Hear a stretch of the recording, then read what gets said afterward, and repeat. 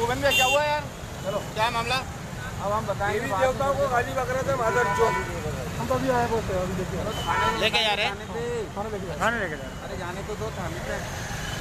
खाने को आओ आपको बोलेगा क्या बोलेगा बोलेगा